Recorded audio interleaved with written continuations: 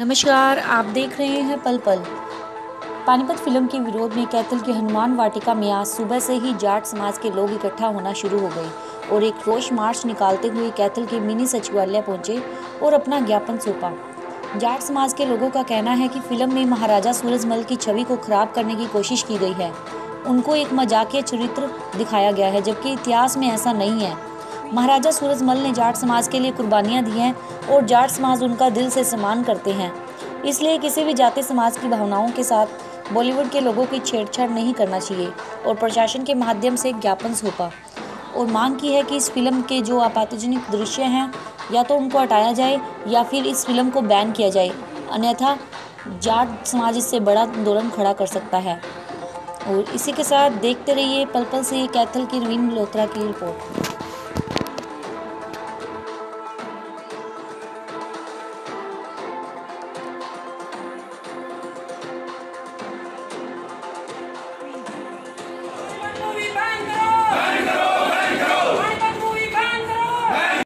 Film है इसी के विरोध में दिया है इन्होंने। भाई इसमें कुछ जो इसके अंदर सीन है वो आपत्तिजनक है ऊपर आपत्ति जताइए ये प्रशासन की सरकार को भेज दिया किसके नाम ज्ञापन दिया और कहाँ भेजा जाएगा सर? ये सूचना प्रसारण मंत्री भारत सरकार के। वहीं भेजा सर क्या कैथल में भी इस तरह की कोई फ़िल्म सिनेमाघर में लगाई अगर लगाई है तो क्या वहाँ पर बैन किया गया है?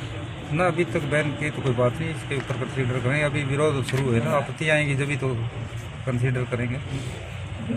ठीक है सर। मेरा नाम है सर। जी जी सिंह जी बताइए क्या मामला है जी जैसे कि फ़िल्म देखी थी फ़िल्म देख के आए तो इस फ़िल्म में दिखाया गया कि महाराजा सूरजमल जी को एक लालची शासक और एक ऐसा शासक दिखाया गया है जो एक इस इस तरीके से दिखाया गया कि ये फनी है। फनी करेक्टर इसको क्रिएट किया गया है और इसकी छवि को लेकर कि पेशवाओं के आगे और इनके आगे कैसे झुके थे। इस तरीके की कोई ऐसी कोई कहानी नहीं थी। इतिहास में जो हमने पढ़ा है, अपने पूर्वजों को जो देखा है, समझा है तो इस तरीके के सीन क्रिएट करना और एक तबके को ऊपर दिखाना, दूसरे को नीचा दिखाना, ये कहीं भी नहीं लिखा गया कि दूसरे आप समाज को नीचा दिखाइएगा। तो हम मांग करते हैं कि इस फ़िल्म को जल्दी से जल्दी बैन करें और या इस फ़िल्म से सीन काटा जाए वो। क्या कैथल में भी इस तरह की फ़िल्म लगाई गई है? कैथल में हिंद सिनेमा और पदमा सिटी मॉल में दो जगह फ़िल्म लगाई गई है सर। तो क्या इसका विरोध कर रहे हैं आप? जी जी सर बिल्कुल किया गया है। इसका राजस्थान यूपी में बहुत ज़्यादा विरोध हो रहा है और उसी के साथ देखते हुए अब हरियाणा में भी इसका विरोध होने लगा कैथल में भी आप बंद करवाएँगे? जी सर बिल्कुल।